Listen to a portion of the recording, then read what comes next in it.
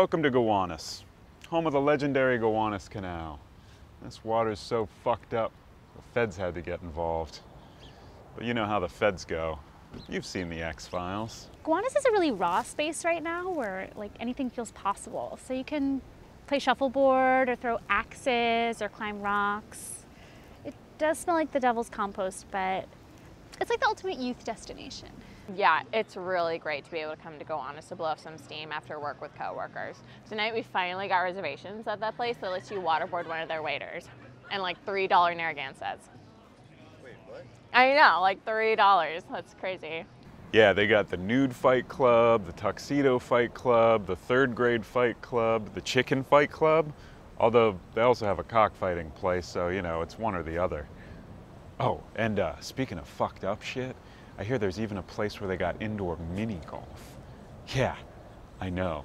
There's this one place that I went to where you can test out makeup on little like rodents and animals. So like they gave me a bunny and then I could like put blush on its fur and like brush it and then like dye its hair different colors and put mascara on its eyelashes and the rabbits have the littlest eyelashes. So if you happen to hurt the rabbit, they'll like take it away and like dispose of it and then they'll like give you another rabbit and you can try again.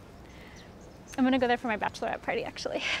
There's this one spot where you can fight a cop from the local precinct. I think it's like $20, so like whatever, but they have this killer taco truck. Oh, and there's this one place where you can get your blood transfused with like any animal that you want. I'm talking donkeys, burros, jackasses, literally any animal you can think of. So, what'd you go with? I went with the raccoon blood. I don't know if I'd do that again. So there's supposed to be this amazing virtual reality cafe around here where you can like upload your brain, but it's like a one-way trip kind of thing, and then you, you just like live on the internet. Well, what do they do with your body? The canal's right there. Ah. Is it me or is it like really bright out right now? There's this one place that is just like too extreme, even for me. And I went to the furry orgy behind the Whole Foods. It's like this meat market, but there are kids there too, and they have they have like this drink that's like a frozen rosé. They call, they call it a frosé. And I'm sorry, I can't. Are you talking about pig? But yeah, it's that place. Ooh, and while you're here, you should definitely try this one thing. I'd never done it before, but it's heroin. It's really fun.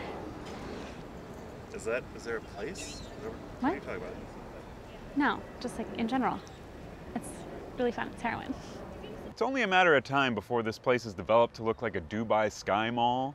So I say try the autoerotic asphyxiation place while you still can. Oh, and uh, don't forget to try the righteous pork sliders they've got too. And maybe try those first, you know, just in case.